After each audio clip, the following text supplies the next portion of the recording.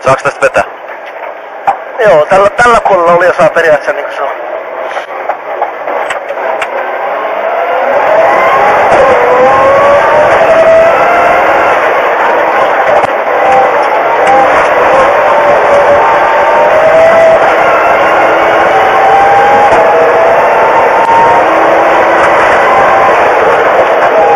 Jarruta tähän. Ja vähän tää on semmonen kireä luonne periaatteessa. Tähän on pakko vähän nostaa Anabela Guilherme, tá na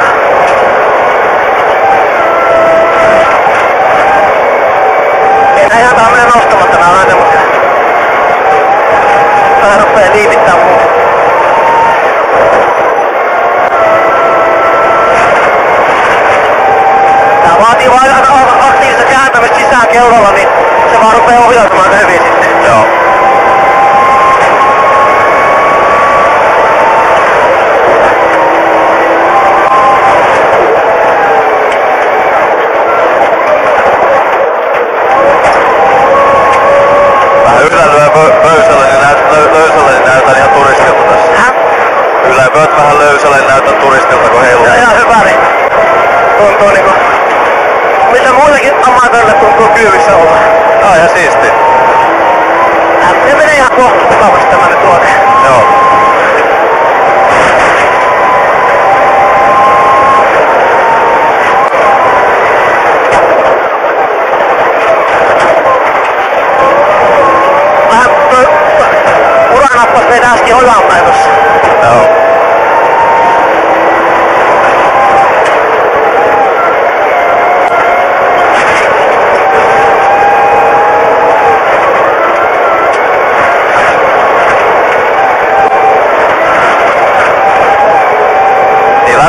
lämmitellekö se vie toisen kierroksen?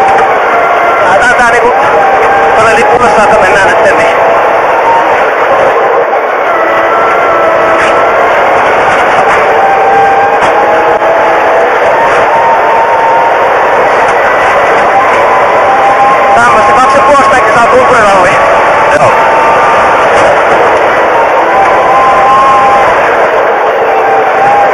Siistin näköistä puupaita.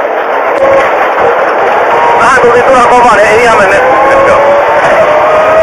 Tavallaan näytti hallitulta.